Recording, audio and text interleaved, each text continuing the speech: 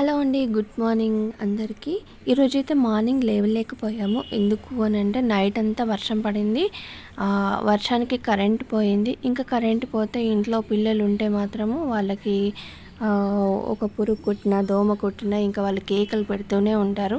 మా పిల్లలైతే చాలా చిన్న పిల్లలు అనమాట ఇంకా వాళ్ళు వచ్చేసి ఏ చిన్నగా ఏదైనా కానీ ఏడుస్తూనే ఉంటాడు మా అబ్బాయి. ఇంకా వాడిని ఎత్తుకొని తిరగ ఎత్తుకోమని అయితే ఏమండు కానీ ఏడుస్తూనే ఉంటాడు ఇంకా వాళ్ళ అది చెప్పలేమన్నమాట అది అనుభవిస్తేనే తెలుస్తుంది ఎవరికైనా కానీ అది అంత ప్రతి తల్లికి తెలుస్తుంది అనమాట ఇప్పుడు వచ్చేసి బయటికి రాగానే ఇలా మొత్తం కూడా చూసేయండి. కింద వర్షం పడి మొత్తం ఇలా వాటర్ అనేది మొత్తం అక్కడ ఆగిపోతాయి. ఒక గంట తర్వాత మొత్తం ఇలా అయిపోతుంది అనమాట సాఫ్గా. మళ్ళీ వర్షం పడితే మాత్రం ఇట్లా మొత్తం వాటర్ వస్తాయి. ఆ వాటర్కి అయితే ఏవేవో పురుగులు అయితే వస్తాయి నాకైతే తెలియదు కానీ ఆ, మొన్న అయితే ఒక పురుగు వచ్చింది. దాని పేరేంటో నాకు ఐడియా లేదు. మీకు లాస్ట్లో చెప్తాను నేను. గ్రీనరీ అనేది ఇలా ప్రొద్దున్నే చూస్తేనైతే మనకి మెడికల్గా కూడా మీరు చాలాసార్లు వినే ఉంటారు కానీ నాకు ఐడియా ఉంది కొంచెము.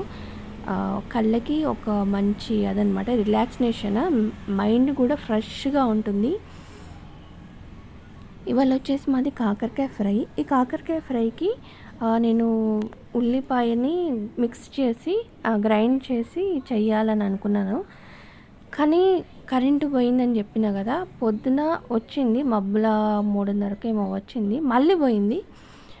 ఎట్లా అని అనుకునే టైంలో కుడక గీరేది ఉంటుంది కదా దాంతో అయితే గీరి వేసేసుకున్నాను.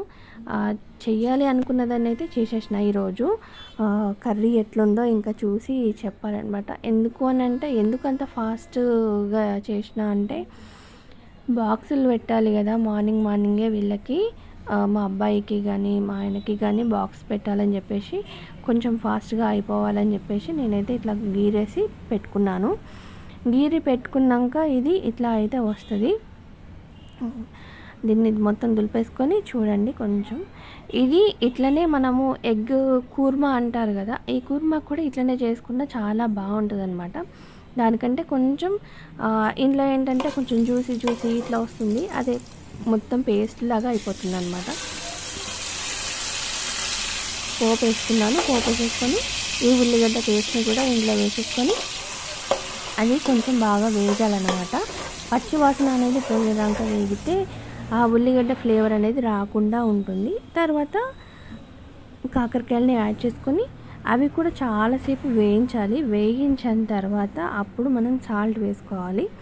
సాల్ట్ వేసి అది కూడా కాసేపు వేగిన తర్వాత ముక్కకి పట్టుకొని కొంచెం ఉడికిన తర్వాత అప్పుడు కొంచెం సేపు వీటిని ఇలా నేర్పాలన్నమాట. నేర్పేసి పెట్టుకుంటే ఏంటంటే ఒక్కొక్కటి కూడా ఇలా కొంచెం వేగేసి బాగుంటుంది. మీరైతే ఇలా అయితే ఒకసారి ట్రై చేసి చూడండి. చాలా అంటే చాలా బాగుంటుంది. నేనైతే ఒక రెండు ఉల్లిగడ్డలనే వేసిన. మీరు ఒక మూడు ఉల్లిగడ్డల్ని ఇట్లా వేసుకొని కూడా ఫ్రై చేసుకోవచ్చు.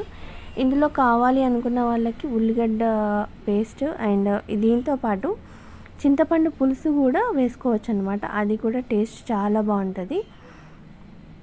ఇప్పుడు వచ్చేసి మనం బయటకు వద్దాము. మా పిల్లలు అయితే వెళ్ళిపోయిండు అనమాట స్కూల్కి వెళ్ళిపోయారు. మా ఆయన ఆఫీస్కి కూడా వెళ్ళిపోయాడు. బయటకు వచ్చి చూస్తే ఇంకా వర్షం పడుతూనే ఉంది. మావాడైతే కొంచెం అన్నాడు వెళ్ళను అని. కానీ వెళ్ళాల్సి వెళ్ళాలి అని చెప్పేసి అన్నాను అనమాట లైక్ లైక్ చేయండి షేర్ చేయండి.